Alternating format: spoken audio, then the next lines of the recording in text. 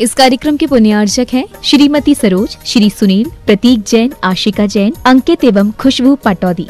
Firm Saroj roofing private limited Cochin Rajguru ज्योतिष चमत्कारी विश्वविख्यात पवन जी शास्त्री समस्या कैसी भी हो समस्याओं का समाधान एक ही बार में सौ प्रतिशत गारंटी ऐसी निवारण फैमिली प्रॉब्लम व्यापार बिज़नेस में नुकसान सगाई शादी में रुकावट फंसे हुए पैसे डिवोर्स समस्या एवं अन्य समस्याओं के समाधान के लिए एक बार कॉल अवश्य करें mobile number eight two zero double nine three one double three six nine seven three seven two zero two one two nine branch Hyderabad एवं Mumbai.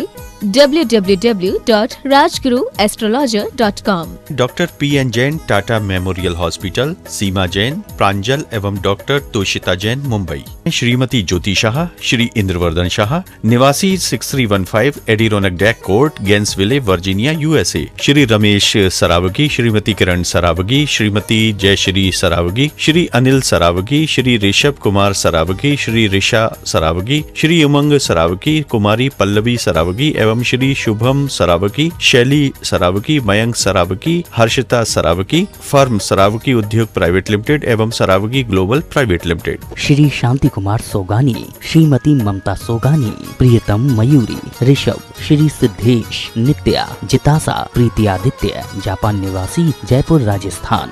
Firm Sogani jewellers private limited, Jaipur. Firm हेवा heaven resort, Jaipur.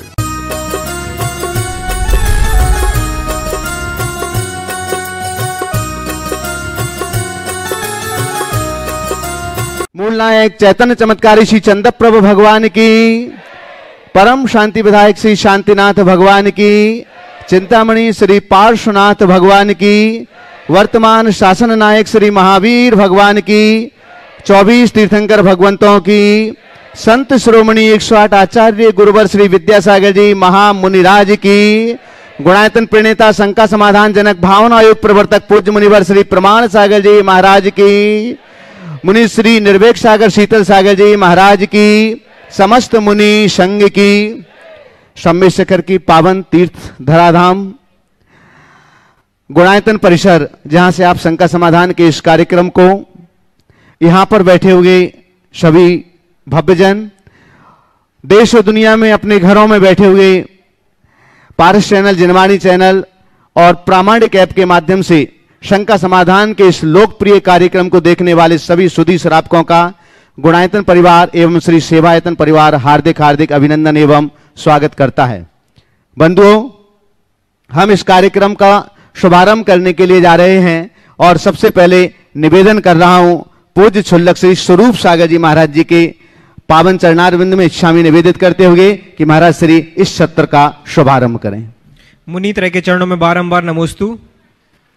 प्रश्नों के लिए सीधे चलते हैं मंचासीन मुनि संघ के चरणों में, और सर्वप्रथम निवेदन है, पूज्य शुल्लक श्री एक्सपर्ट सुबक सागर जी महाराज से कि अपने प्रश्न के माध्यम से हमें लाभान्वित करें।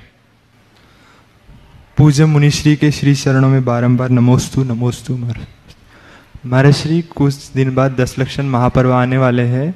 तो हमारी शंका ये थी कि जो दस धर्म है, उनके क्रम रखने के पीछे कोई कारण है या कुछ है? महाराज समाधान कीजिए। नमोस्तु। मैं देखिए, बहुत अच्छा सवाल किया है। दस धर्मों के रखने का, क्रम का कोई कारण है क्या? तो देखिए, ऐसा तो कोई भी क्रम रख सकते हैं, लेकिन इसका एक कारण अगर हम चाहें तो इस तरह से व्याख्यायित कर सकते हैं। क्रोध, मान, माया, लोभ, इस चार विकारों को जब तक हम विनष्ट नहीं करते, तब तक जीवन में सत्य की उपलब्धि नहीं होती। और इस सत्य को फलवान बनाए रखने के लिए हमें संयम, तप, त्याग चाहिए। और उसी हिसाब से जब व्यक्ति सर्वस्व त्यागता है तो अकिंचनत्व की अनुभूति करता है, तभी वह ब्रह्म स्वरूप आत्मा में लीन होता है। कषायों के शमन की अपेक्षा से चार धर्म उसकी उपलब्धि के रूप में सत्य है। और उस कषायों के शमन के साधन के रूप में संयम तप त्याग और आकिंचन है। उसकी उपलब्धि के रूप में ब्रह्म ऐसा हम कह सकते हैं। निवेदन है पूज्य शुल्लक श्री चिद्दूप सागर जी महाराज के चरणों में कि अपने प्रश्न के माध्यम से हमें भी बोधि की प्राप्ति कराएँ। पूज्य मुनि द्वय के चरणों में बारंबार नमोस्तु। महाराज जी टीवी चैनल्स पर कुछ कार्यक्रम दिखाए जाते हैं जो आपराधिक केस जो रियल होते हैं वो दिखाए जाते हैं। उनमें अधिकतर होते हैं पारिवारिक संबंधों में जो अपराध हुआ हो, उनका।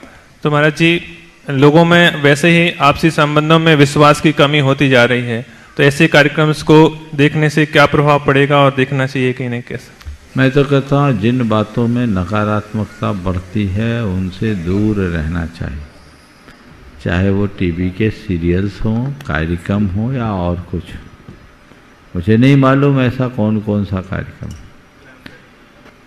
आप बता रहे क्राइम पेट्रोल ये सब चीज़ें करने का नकारात्मक असर होता है। कई लोग ऐसी चीज़ें देख करके उस तरह के अपराध भी कर बैठते हैं। और फिर कई लोगों के अंदर इन सब चीज़ों को देखने से नकारात्मकता की वृद्धि होती है, एक दूसरे का विश्वास कम जिससे चित्त कलुषित होता है, उसे दुश्रुति कहते हैं। ऐसे दृश्यों को देखना और ऐसी बातों को सुनना एक प्रकार का अनर्थ दंड है। जो हमारे जीवन के लिए महा अनर्थ कर है इसलिए इससे पूरी तरह बचना ही चाहिए।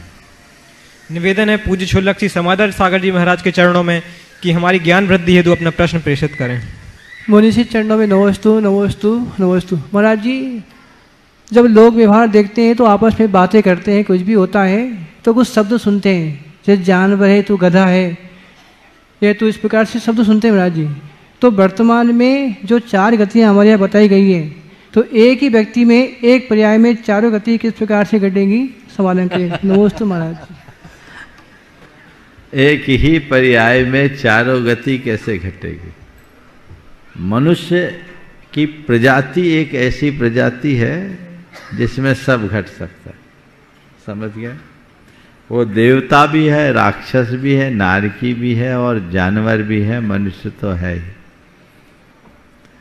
अब मैं आपको बता देता हूँ, मनुष्य कब मनुष्य रहता है, कब देवता बनता है, कब जानवर बनता है और कब राक्षस या नारकी बन जाता है। भारती हरि ने चार प्रकार के मनुष्य के स्तर बताए। सबसे पहला है, जो सबसे निचला स्तर है, जो व्यक्ति केवल स्वहितों का ध्यान रखे और परहितों की घोर उपेक्षा करे, वो राक्षस है। जो स्वहित के लिए परहित को बाधा दे, वो जानवर है। जो केवल स्वहित की पूर्ति करे, पर का अहित ना करे, वो मनुष्य है। और जो पर हित के लिए स्वहित को त्याग दे, वो देवता अब ये सुबह से शाम तक में सब प्रकार के संस्करण हमारे अंदर प्रकट हो जाते हैं। कभी हम देवता बनते हैं, कभी मनुष्य कभी जानवर तो कभी राक्षस। राम, आप कुछ भी बोल दो, लेकिन हमारे काम, हमारे चेतना के स्तर को प्रकट करते हैं। इसलिए अपने चैतन्य स्तर को अच्छा बनाए रखने के लिए हमें अपने भीतर के दिव्य स्वरूप को सतत उद्घाटित रखना चाहिए।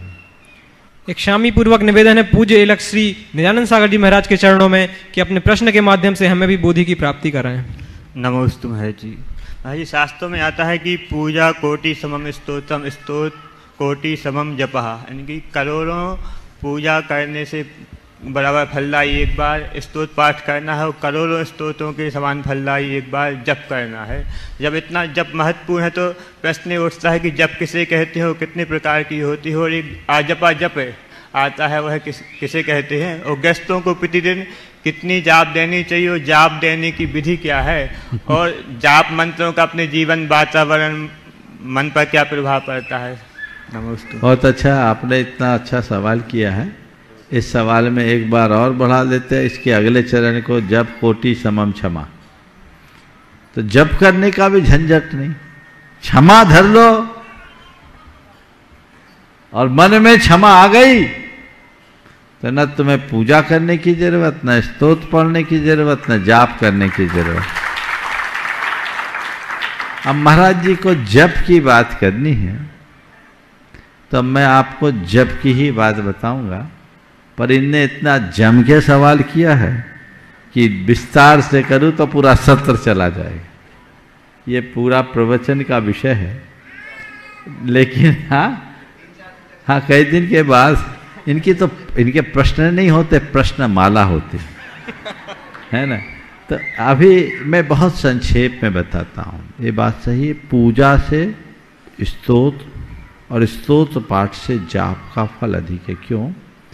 पूजा की एकाग्रता से स्तोत्र की एकाग्रता अधिक होती है और एक स्तोत्र की एकाग्रता से जप की एकाग्रता अधिक होती है। जप शब्द में दो अक्षर है, ज और प।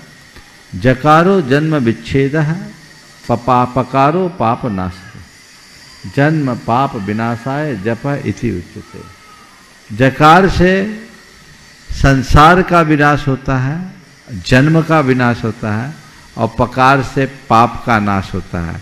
तो जन्म और पाप को जो विनष्ट कर दे, उसका नाम जप है।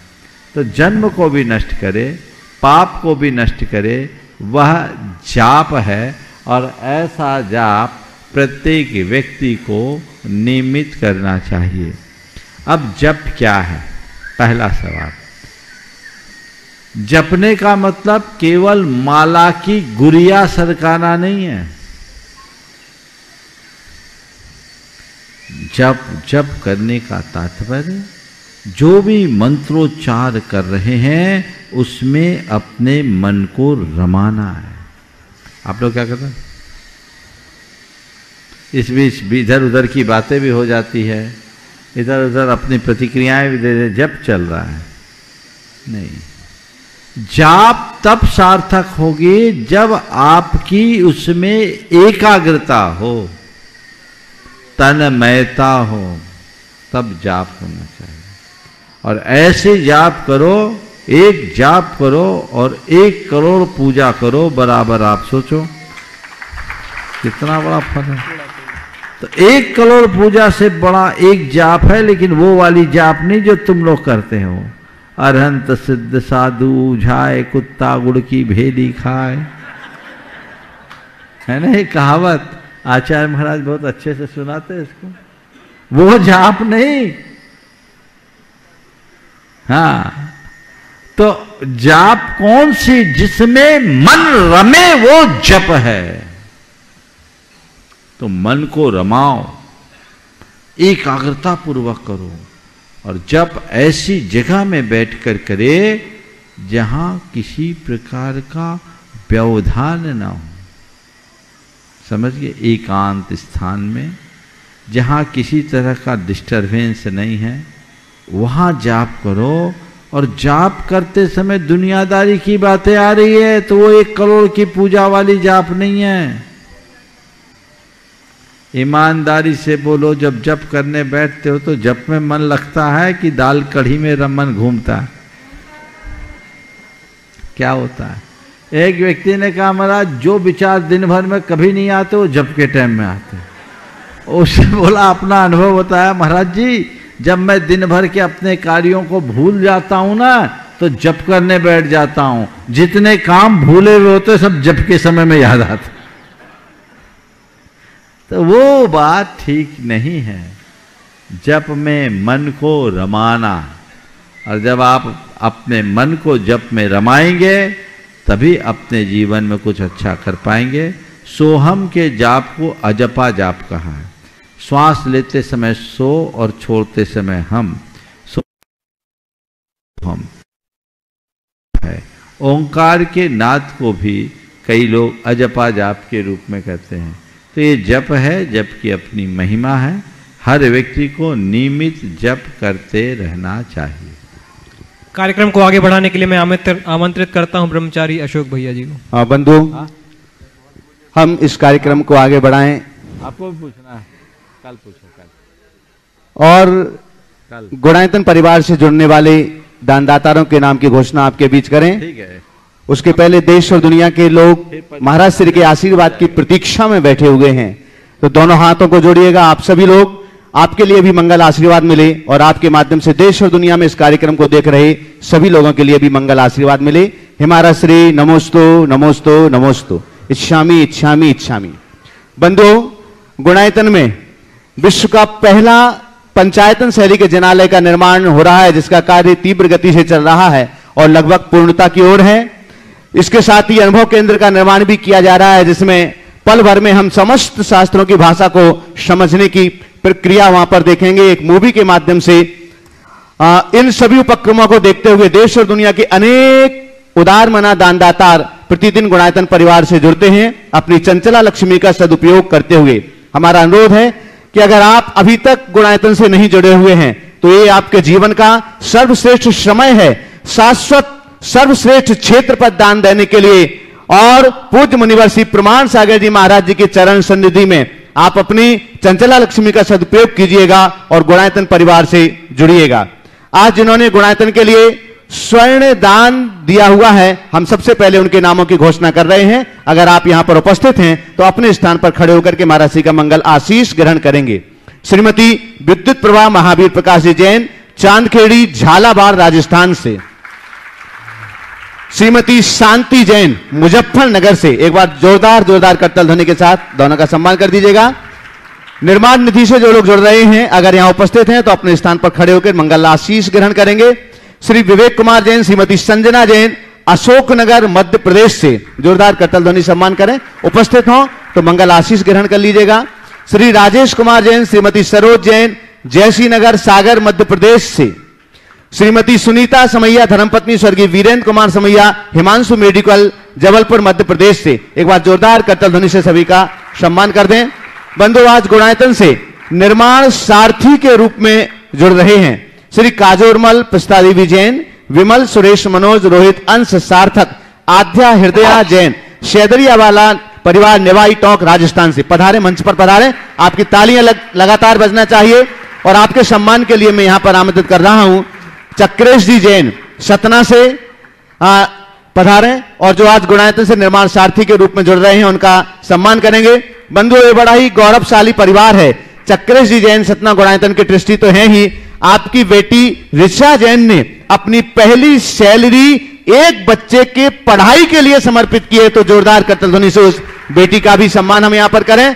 और आज जो गुणायतन से निर्माण सारथी के रूप में जुड़े हैं उनका सम्मान यहाँ पर किया जा रहा है। आपकी तालियाँ अनवरत जारी रहना चाहिए। सीधा ऐसा ऐसा बंधु आज गुणायतन से सूत्रधार के रूप में जुड़ रहे हैं श्री महावीर प्रसाद जैन श्रीमती चंद्रकला जैन श्री मनीष जैन श्रीमती प्रीति जैन प्रिंसी जैन ग्रंथ जैन टॉक राजस्थान से। अगर यहाँ पर उपस्थित हो तो कृपया पधारें मंच पर आइएगा। आज गुणायतन से सूत्रधार के रूप में जुड़ रहे हैं। श्री महावीर प्रसाद जैन श्रीमती चंद्रकला जैन श्री मनीष जैन श्रीमती प्रीति जैन प्रिंसी जैन ग्रंथ जैन टॉक राजस्थान से। आइएगा। और आपके सम्मान के लिए हम बहुत ही सम्मान पूर्वक यहाँ पर आमंत्रित कर रहे हैं। आ, बहुत ही सरल व्यक्तित्व के धनी हैं। श्री भूपेंद्र रेखा जी हुमर गुणायतन के शिरोमणि संरक्षक हैं मार्गदर्शक हैं और आज जिनका जन्मदिन भी है। तो मैं बहुत सम्मान के साथ आमंत्रित करता हूँ। आपकी तालियाँ पर्याप्त नहीं है। दोनों हाथों को ऊपर उठा करके। भूपेंद्र रेखा जी उमर श्रोमणी संरक्षक और गुणायतन के मार्गदर्शक पधारे और आज जो गुणायतन से सूत्रधार के रूप में जुड़ रहे हैं उनका सम्मान करेंगे। शीघ्रता के साथ में आ जाएँ। कौन नाम बोलो जो हाँ श्री महावीर प्रसाद जैन श्रीमती चंद्रकला जैन श्री मनीष जैन श्रीमती प्रीति जैन प्रिंसी जैन ग्रंथ जैन टोंक राजस्थान से। हाँ चलेगा मैं यहाँ पर आमंत्रित कर रहा हूँ। सतीश जी नजा एडवोकेट हैं।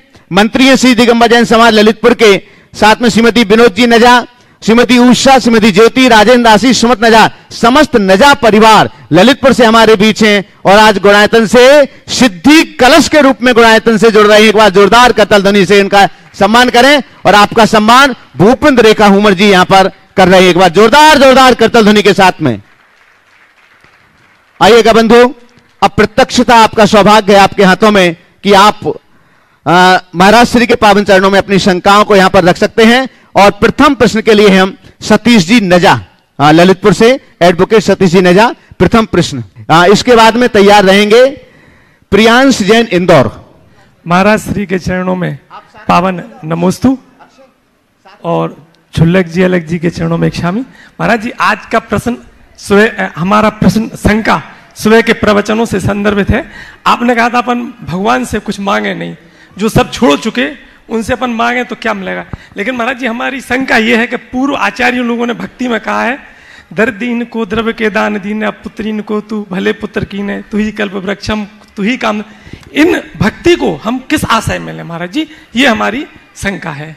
देखो, ये जो बातें कही गई है, पहली बात तो ये किसी आचार्य के नहीं है किसी कवि के द्वारा रची गई।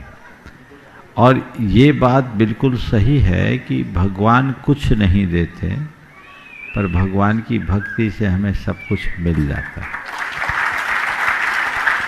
ये केवल व्यवहार में कहा जाता है कि भगवान ने दिया, लेकिन मिलता है हमारे पुण्य के संयोग से, और पुण्य का संयोग बनता है हमारी भक्ति के बल से। उदाहरण के लिए मैं आपसे कहता हूँ कोई व्यक्ति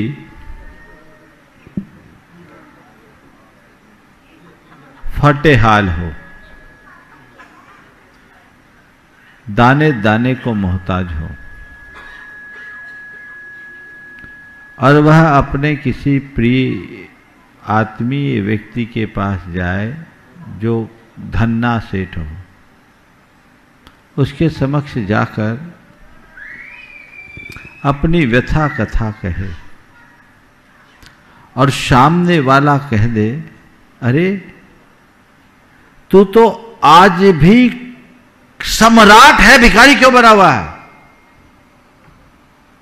तेरे पास तो आज भी करोड़ों की निधि है। तू परेशान मत हो, जा, अपने घर का दक्षिण कोना खोद, भंडार भरा है।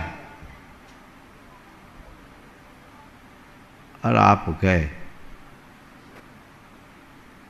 दक्षिण को ना खोदा और थोड़ा ही नीचे गए। बड़ा खजाना मिल गया। अब क्या बोलोगे? क्या बोलोगे? सीधे सामने वाले के चरण में आओ भैया। आपने तो मेरा उद्धार कर दिया, आपने तो मुझे तार दिया। अरे क्या है? आपने मुझे माला माल कर दिया। मैं तो फटेहाल कंगाल था। आपने मुझे धन्य कर दिया, अक्षय निधि प्रदान कर दी। कौन ने दिया? उनने दिया। माल तो पड़ा हुआ था, पर मुझे पता नहीं। अरे मैंने कुछ थोड़ी दिया। अरे आपने नहीं दिया होता तो अपनी अन्य संपत्तियों के साथ इसको भी बेच दिया होता तो क्या मेरे पास बचा होता? ये तो आपकी ही कृपा का सुफल है कि आज मैं माला माल हो गया। तो बस यही भूमिका भगवान की है। भगवान कुछ देते नहीं, पर भगवान से हम वह प्रेरणा पा जाते हैं। और जब उस प्रेरणा से हमारे जीवन में कुछ भी उपलब्धियाँ घटती है तो हमारे हृदय में जो उनके प्रति भक्ति है, वो हमें कृतज्ञ बनाकर प्रेरित करती है और उद्गार निकलते हैं भगवान। ये आपकी कृपा का फल है। ये आपने दिया है। ये आपके आशीर्वाद का फल है। ये बोला जाता है और बोलना भी चाहिए, पर मांगना नहीं चाहिए। समझ गए चलिए। नमस्ते महाराज। प्रियांश जैन इंदौर शिरोमणि संरक्षक गुणायतन। आगे तैयार रहेंगे श्री भूपेंद्र रेखा जी उमर मुंबई शिरोमणि संरक्षक गुणायतन। महाराज श्री के चरणों में मेरा त्रिबार नमोस्तु नमोस्तु नमोस्तु। महाराज जी मेरा प्रश्न ये है कि आज जैसे हम लोग तीर्थ स्थानों पर जाते हैं जैसे हाँ। हम लोग तीर्थ स्थानों पर जाते हैं तो आजकल वहाँ पे यूथ बहुत कम देखने को मिलते हैं। और जो नई जनरेशन है जैसे मेरी तीन छः साल की बिटिया है तो हम उनको किस तरीके से हमारे परिवार में ऐसा माहौल क्रिएट करें कि वो भी बड़े होके अपनी मर्ज़ी से बोले कि हमें भी तीर्थ स्थान पर जाना है। महाराज जी से मार्गदर्शन दीजिए। ये बात बहुत अच्छा सवाल किया है। नई पीढ़ी को हम धर्म स्थानों और धार्मिकताओं से किस प्रकार जोड़ें?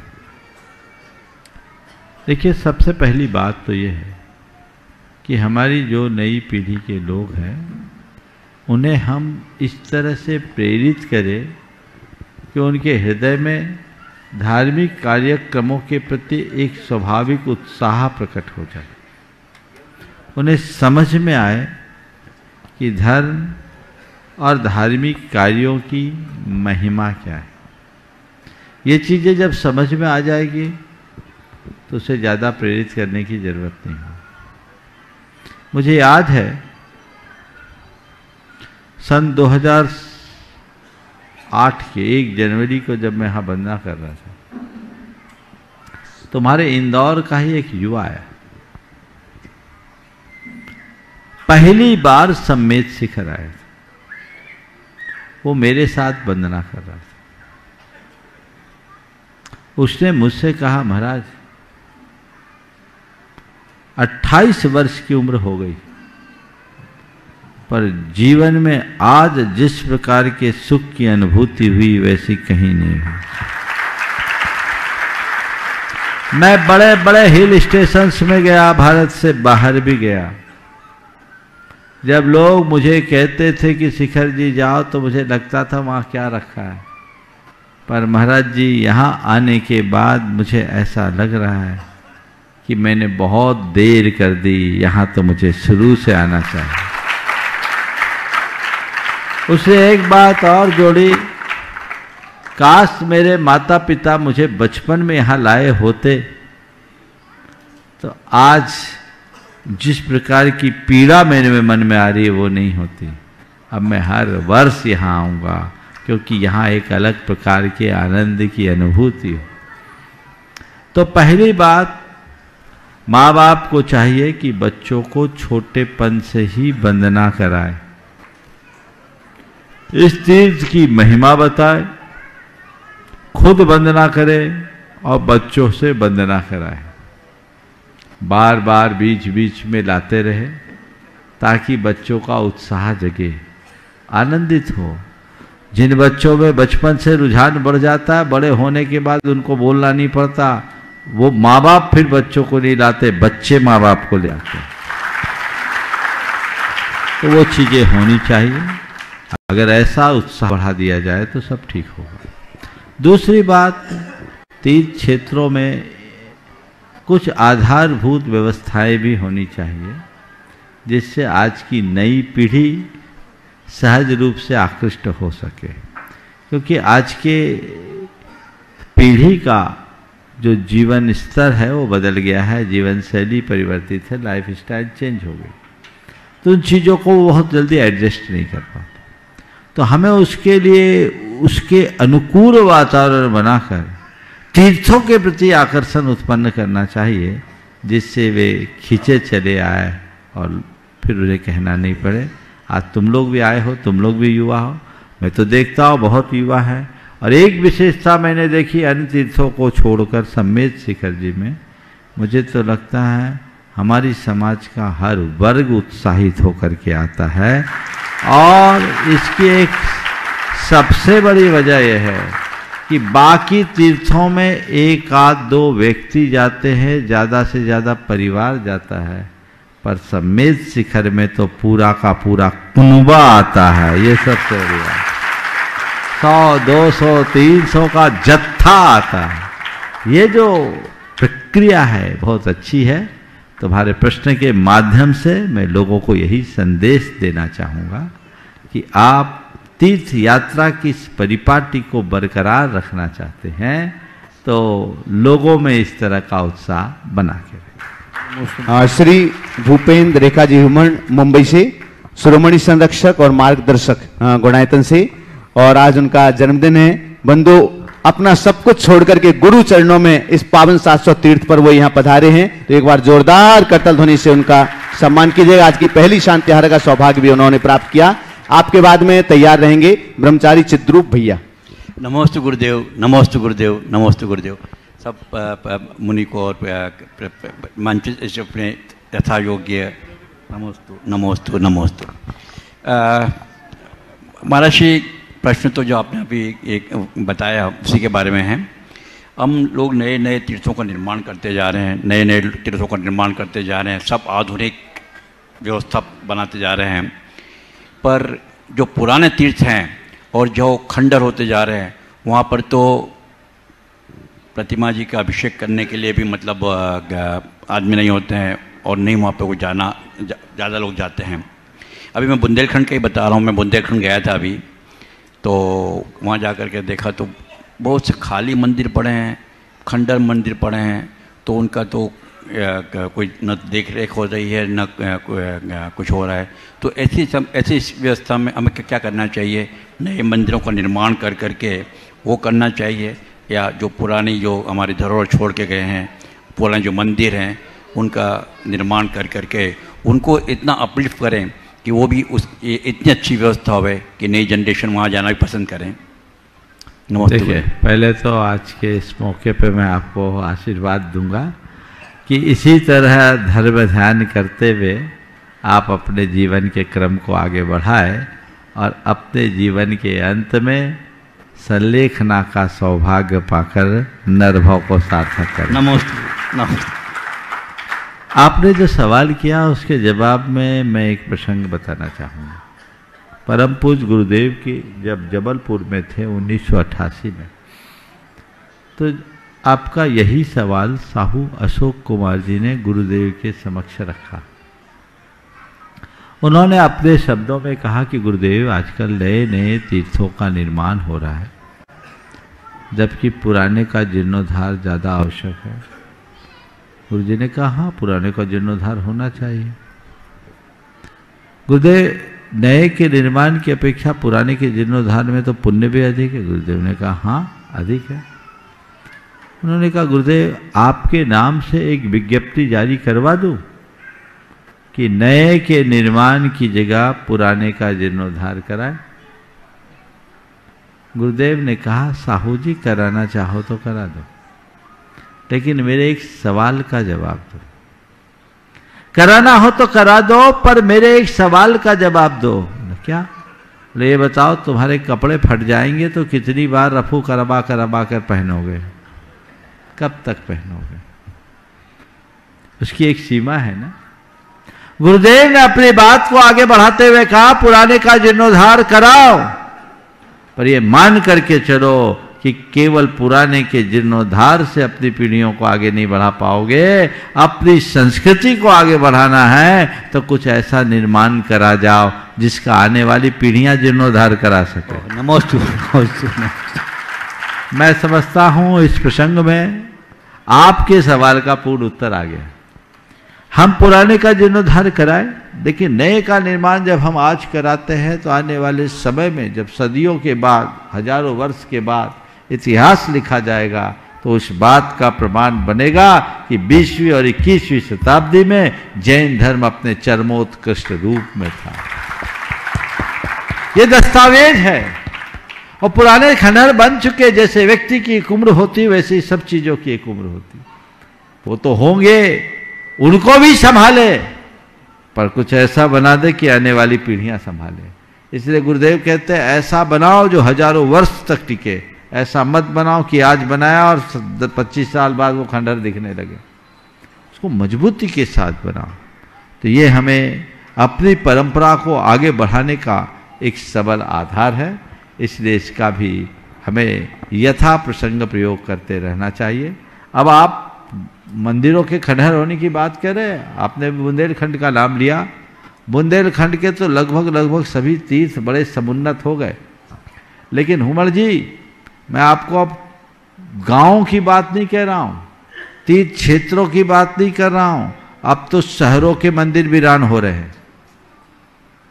जितने भी शहर हैं, उनके पुराने शहरों के मंदिरों में पूजा करने वाले नगण्य होते जा रहे हैं। उदाहरण के लिए जयपुर का जोहरी बाज़ार देख लो।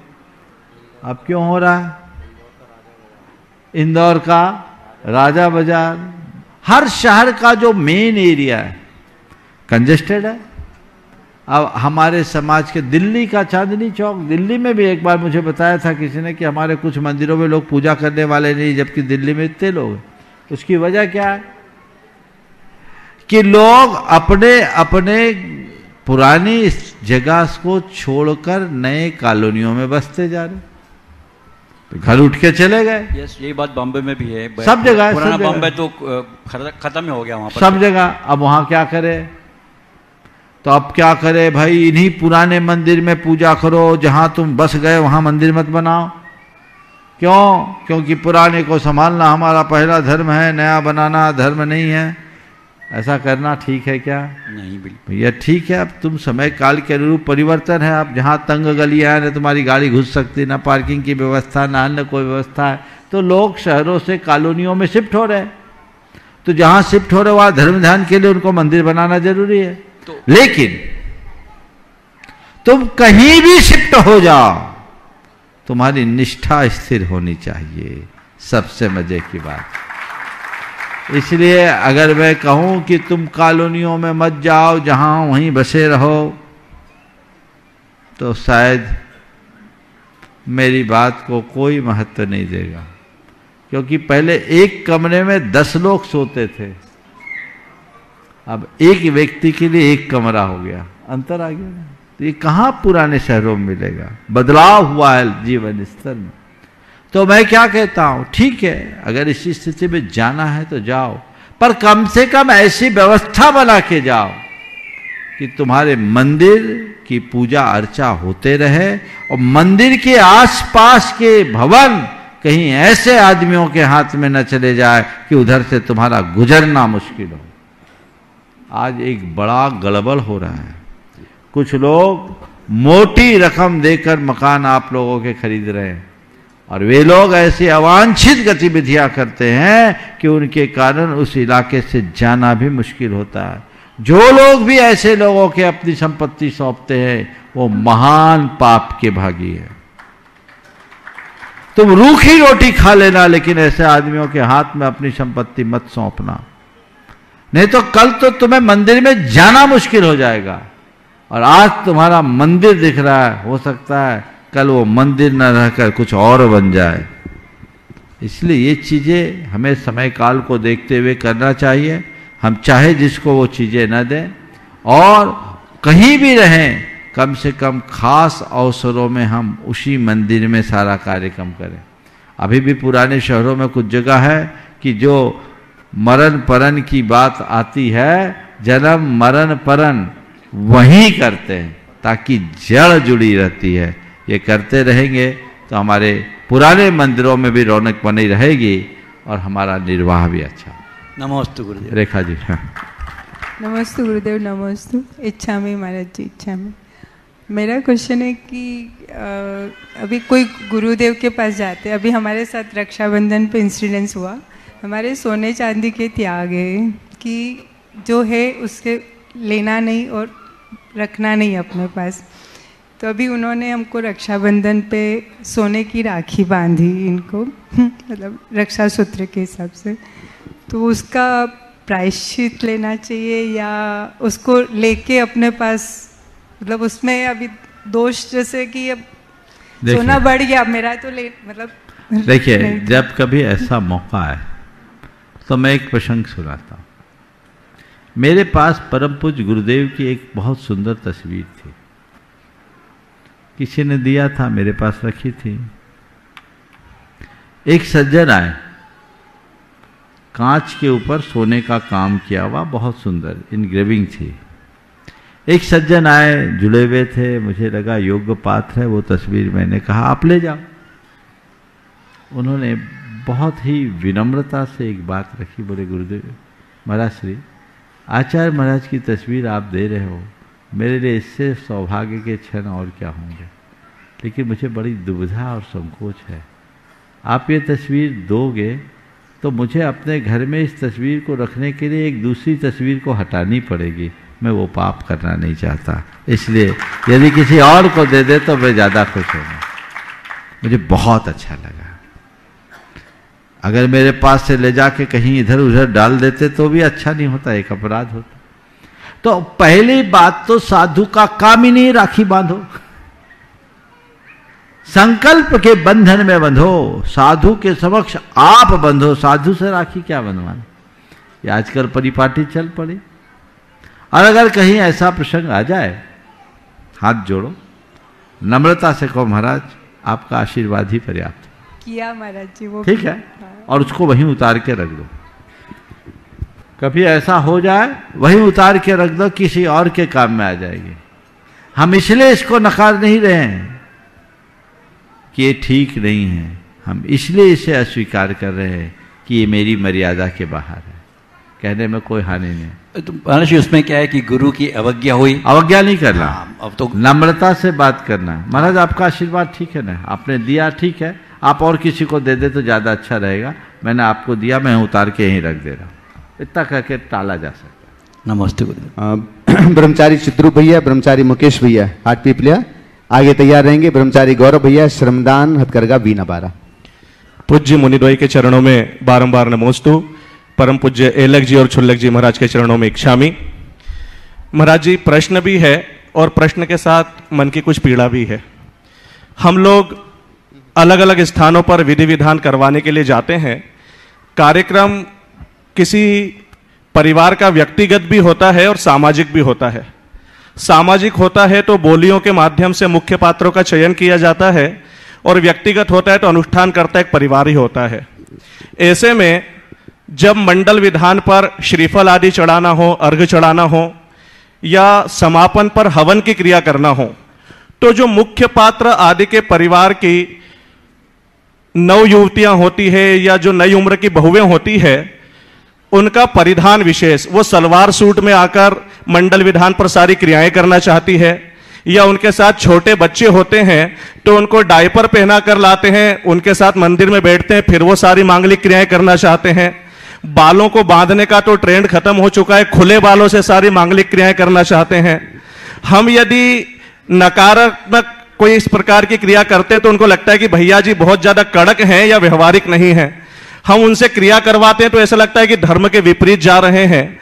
तो ऐसे में हम लोगों का कर्तव्य क्या होना चाहिए, और क्या इस प्रकार से क्रिया करना और करवाना दोनों आगम के संगत है क्या? देखिए, बहुत ही गंभीर बात आपने उपस्थित की। सबसे पहले तो सलाह मैं ये दूँगा, जो विधि विधान के करता है चूँकि उनके साथ टाइटल लगा विधि, विधान करता, विधानाचार तो उन्हें विधि, विधान का ध्यान रखना चाहिए, उसमें व्यवधान स्वीकार नहीं करना चाहिए। हमारी प्राथमिकता है, हम किसके लिए आए? विधि, विधान के लिए आए। और विधि, विधान करता ही यदि विधि, विधान को गौन कर दे तो मामला गड़बड़ हो जाता है। अब रहा सवाल, ऐसी स्थिति में हम क्या करें? सबसे उत्तम तरीका। आयोजन से पूर्व, आयोजकों को बोल दे कि हमारी ये व्यवस्थाएँ हैं। इस तरह की व्यवस्था के साथ ही आप आइए, हमारे ये परिधान होंगे। और खुले बाल से एक बात मैं आप सबसे कहता हूँ, किसी भी धार्मिक अनुष्ठान में खुले बाल नहीं रखना चाहिए। स्त्रियों के लिए ऐसे भी विधान है खुले बाल न रखने का। स्त्रियों के खुले बाल के दो दो वजह बताए हैं और दोनों ही, दोनों में एक तो बहुत खराब वजह है, जिसका उल्लेख मैं नहीं करूँगा। और दूसरी वजह वह है, जब द्रौपदी ने अपने बाल खोले थे, जब वो किसी संकल्प से बंध जाती है तब, इसके अलावा और कोई नहीं। पर आजकल आप लोगों का जो ट्रेंड है बहुत गंदा ट्रेंड है। ऐसे खुले बाल वाली स्त्रियों के लिए जिस तरह के शब्द लिखे गए हैं, मैं अपने मुँह से कहना पसंद नहीं करूँगा, लेकिन ये बिल्कुल उचित नहीं है।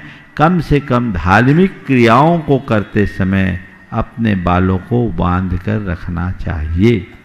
पूजा अनुष्ठान आदि क्रियाओं में, खासकर हवन आदि की क्रियाओं में ऐसा लिखा है एक बाल भी आपका हवन कुंड में गिर गया तो कुष्ठ जैसा रोग तक हो सकता है। आप सोचो, अगर शास्त्र में लिखी बातों की उपेक्षा आप करोगे तो नहीं। बाल नहीं बांधना है तो कोई बात नहीं, छोटे बाल रखो, कटिंग करके, मुंडन कराओ, केस बस कराओ। पर बड़े बड़े हैं तो उसको बांधना ज़रूरी है। ये एकदम ध्यान रखना, ऐसा लिखा है कि हवन करते समय अगर बाल गिर जाए, क्यों लिखा है कि नहीं? तीन बातों की उपेक्षा करिएगा तो आपका पुण्य छीन होगा। जितने भी मांगलिक अनुष्ठान हैं, उनको विधि विधान से करो। हम इसमें ढील न दें। इसी तरह अब छोटे बच्चों वाला मैटर है। अब इसमें दो बातों को हमें ध्यान रखना। विधानाचार समय से पूर्व निर्देशन दे दे और समय पूर्व निर्देशन दे दे तो जो भी आयोजक है वो उसका पालन करे। लेकिन कई बार क्या होता है, नई जनरेशन के लोग जिनका ज़्यादा रुझान नहीं, माँ बाप ठेल ठाल के जिनको लाते हैं, वो अचानक आ जाए। और उसको आपने कड़ाई से डांट दिया या निषेध कर दिया तो वो फिर धर्म से दूर हो जाते। तो वहाँ हमें बहुत कुशलता से काम करना है।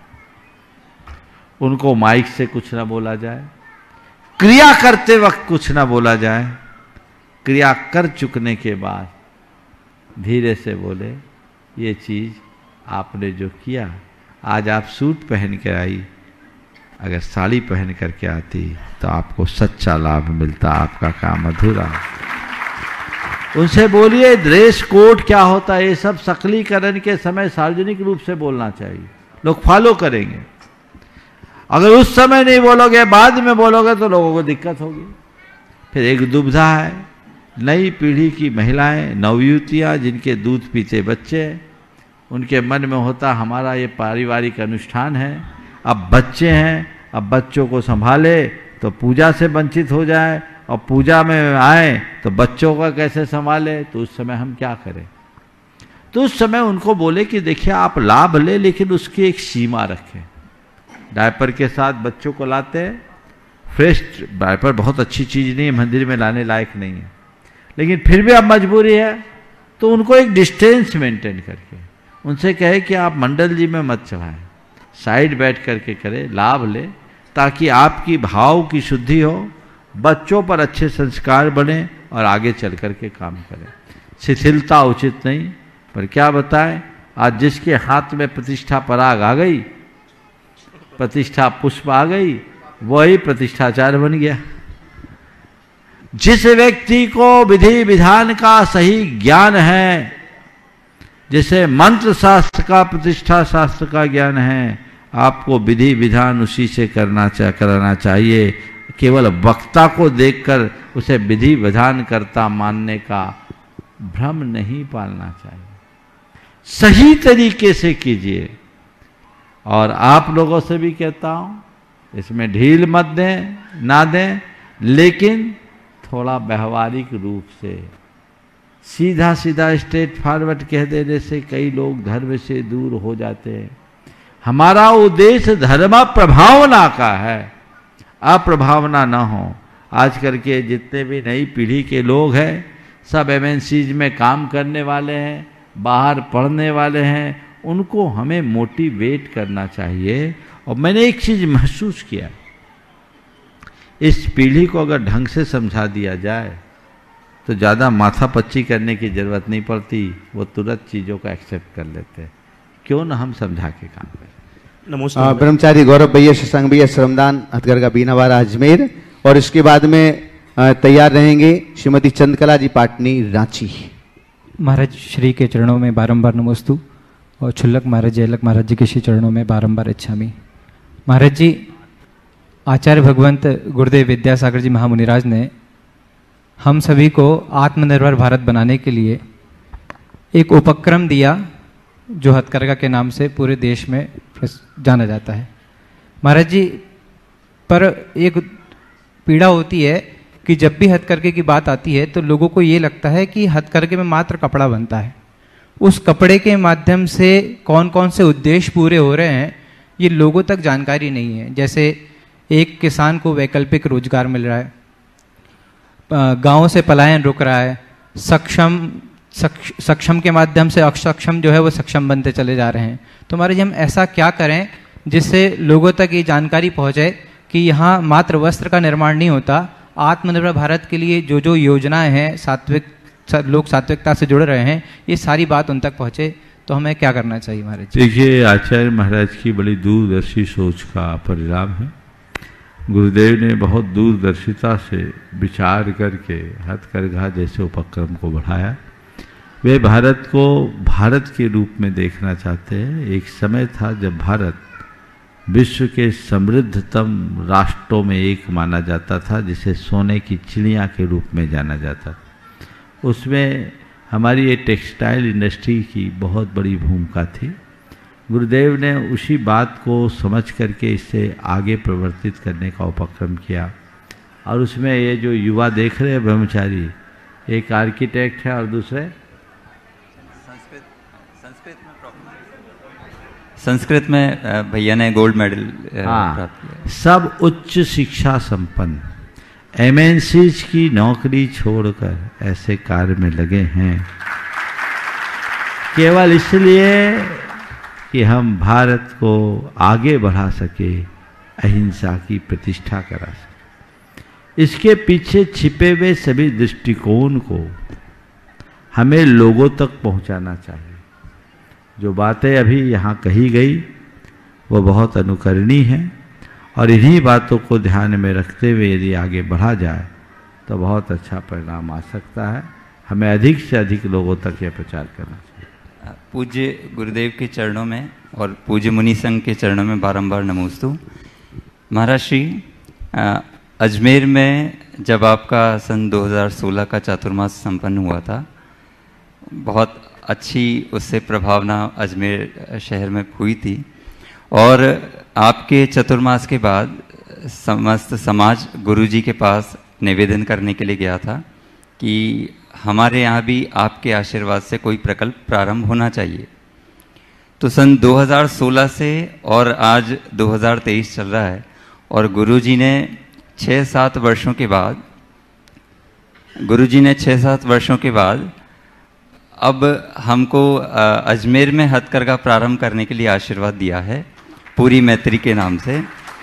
और ये हम लोगों के लिए बड़ा आश्चर्य है और अ, गुरुजी की क्या दूरदृष्टि रही उसमें कि इतने समय के अंतराल के बाद अब स्वतः ही गुरुजी ने उसके लिए बड़ी प्रेरणा दी है और आचार्य का पूरा भाव है कि समस्त समाज के संयोग सहयोग से वो कार्य वहाँ पर संपन्न होना चाहिए।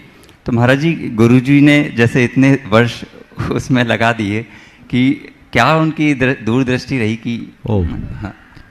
सबसे पहली बात तो ये तुम लोगों के लिए बड़ी प्रसन्नता का विषय है और सौभाग्य का द्योतक है कि कम से कम गुरुदेव की दृष्टि में अजमेर आया तो। जी। अब गुरुदेव की क्या दूरदर्शिता रही होगी मुझे तो नहीं मालूम पर मैं इतनी ही बात जानता हूँ जब तक संयोग अनुकूल नहीं बनते, तब तक परिणाम अनुकूल नहीं तो अनुकूल संयोग जब आता है, तभी परिणाम अनुकूल आते हैं। अब संयोग अनुकूल आ गया। गुरुदेव की कृपा आप लोगों पर बरस गई। तो जब गुरुदेव की कृपा आप लोगों पर बरसी है तो अजमेर समाज की ये ज़िम्मेदारी बनती है कि उसे साकार करके दिखाए। और ये अजमेर समाज इस बात को प्रमाणित करे कि हम गुरु वचनों का कितनी प्रतिबद्धता से पालन करते हैं। और जैसा गुरुदेव ने भाव में रखा, भाव रखा है, हम उससे बढ़ करके काम करेंगे। मैं सारे अजमेर के जैन समाज को इस मंच के माध्यम से संदेश देना चाहता हूँ कि अगर ऐसा कुछ है, सब एकजुट होकर रूपरेखा बनाइए और गुरु चरणों में जाकर के कहिए, गुरुदेव, आपके लिए ये बात आपने अगर हमारे समाज को इस योग समझा है तो हम लोग उसमें कोई कोर कसर नहीं छोड़ेंगे, बढ़ चढ़ करके हिस्सा हम लोगों ने गुरुजी के सामने एक भावना और रखी थी कि हम जब भी उसका उद्घाटन करेंगे, आगे विस्तार रूप में तो वो आपके ही चरण सानिध्य में करेंगे और उसके लिए गुरुजी ने बड़ी प्रसन्नता रखी थी। ये और अच्छी बात है अगर ये साकार हो जाए तो इससे अच्छी बात क्या है? श्रीमती चंद्रकला जी पाटनी रांची और आगे श्रीमती अनीता जितेंद्र सेठी हाट पिपलिया। ओ बाहर वाले को दो हाट पिपलिया वाले को दो जाने वाले हैं अनीता जितेंद्र जी सेठी हाट पिपलिया शीघ्रता के साथ में माइक भिजवा दें। और इसके बाद में तैयार रहेंगे संजीव जी प्रचंडिया अलीगढ़। नमोस्तु महाराज जी नमोस्तु। आज छुल्लक सुभग सागर जी महाराज के केशलोच का पढ़ने का सौभाग्य मिला। लेकिन महाराज जी, आजकल लोगों की धारणा है कि ऐसे ही अगर धर्म ध्यान करते रहोगे और ऐसे ही चौका लगाते रहोगे तो कोई घर में लड़की नहीं देगा। ये कहाँ तक उचित है? अच्छी बात है। अगर जो लोग ऐसा कहते हैं कि ऐसे ही करते रहोगे तो घर में कोई लड़की नहीं देगा तो बोला ऐसे कहना वालों की लड़की लाने से अच्छा घर में लड़की न लाना ही अच्छा। जिनकी ऐसी बच्ची भावना है, उनके घर की लड़की को ला करके क्या करोगे? वो निहाल थोड़ी करेंगे। बोले, हमको नहीं चाहिए लड़की। हमारा रास्ता खुला है। हमें सोचने की बात नहीं है। हमें अपना मार्ग बनाना है। मार्ग तय करके चलना है। हमें पता है हमें क्या करना है और क्या नहीं करना। इसलिए इन बातों को ध्यान में नहीं रखो और उनसे कहो, तुम बोलते हो, लड़की नहीं देगा। हमारे यहाँ तो चल करके लड़की लेकर आएँगे, क्योंकि समाज में ऐसे लोगों की संख्या बढ़ रही है। अब चौका लगाने वालों की कमी नहीं है, लाइन लगी है। अधिकतर लोग सोचते हैं, महाराज, हमारे घर में ऐसी बहू आए जो हमारी घर की परंपरा को आगे बढ़ा पाए। और बहुत सारी लड़कियाँ खुद ये सोचती है, हमें ऐसा घर मिले जहाँ धर्म की परिपाटी चलते रहे, होता है कि नहीं होता? बताओ, इस सभा में जितनी अविवाहित लड़कियाँ बैठी है, उनमें से कितनी हैं जो चाहती हैं, हमें ऐसा घर मिले जहाँ सब प्रकार की धर्म ध्यान होते रहे? थोड़ा हाथ उठाना। जितनी अविवाहित लड़कियाँ हैं, अविवाहित हाथ उठाओ अच्छे से उठाओ, डरो नहीं। देखो, बहुत बढ़िया कैमरा, एक सर्वे हो गया। उठाओ, अच्छे से उठाओ हाथ। कैमरा दिखाओ हाँ ये हो गया। एक मिनट हाथ नीचे करो। पहले देखो कितनी अविवाहित लड़कियाँ हैं। अविवाहित हैं कितनी? टोटल कितनी लड़कियाँ जो अविवाहित है? जिनका विवाह नहीं हुआ, वो कितनी है? देखो, हाथ उठाओ। हाँ कितनी है? देखो, इसका तात्पर्य है, हंड्रेड परसेंट लड़कियों ने हाथ उठाया। क्या है? ये सब मूर्खों की पहचान है, मूर्खता प्रकट करते हैं। ऐसे लोगों को भाव ही नहीं देना चाहिए। बोले जाइए आपके पास मेरे पास समय नहीं आप अपना काम कीजिए। समाज में आज ऐसे लोगों को कोई स्थान नहीं है ना मिलना चाहिए। हमें ऐसे ही लोगों को महत्व देना चाहिए जो देव गुरु और धर्म के प्रति समर्पित हो। बोलिए परम पूजा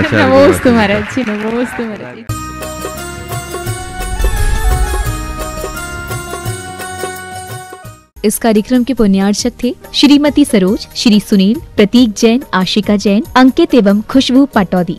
Firm Saroj roofing private limited, Cochin. Rajguru ज्योतिष चमत्कारी विश्वविख्यात पवन जी शास्त्री। समस्या कैसी भी हो, समस्याओं का समाधान एक ही बार में। सौ प्रतिशत गारंटी से निवारण। फैमिली प्रॉब्लम, व्यापार, बिज़नेस में नुकसान, सगाई, शादी में रुकावट, फंसे हुए पैसे, डिवोर्स समस्या एवं अन्य समस्याओं के समाधान के लिए एक बार कॉल अवश्य करें। Mobile number eight two zero double nine three one double three six nine seven three seven two zero two one two nine branch Hyderabad एवं Mumbai www.rajguruastrologer.com doctor P N Jain Tata memorial hospital Seema Jain Pranjal एवं doctor Toshita Jain Mumbai Shrimati Jyoti Shah Shri Indravardhan Shah निवासी 6315 Adirondack deck court Gainesville Virginia USA Shri Ramesh Saraogi Shrimati Kiran Saraogi Shrimati Jayashree Saraogi Shri Anil Saraogi Shri Rishabh Kumar Saraogi Shri Risha Saraogi Shri Umang Saraogi Kumari Pallavi Saraogi एवं Shri Shubham Saraogi Shaili Saraogi, Mayank Saraogi, Harshita Saraogi, firm Saraogi उद्योग private limited एवं Saraogi global private limited. Shri Shanti Kumar Sogani, Shrimati Mamta Sogani, Priyatam Mayuri, Rishabh, Shri Siddhesh, Nitya, Jitasa, Priti Aditya, Japan निवासी, Jaipur, Rajasthan. Firm Sogani jewellers private limited, Jaipur. Firm हेवा heaven resort, Jaipur.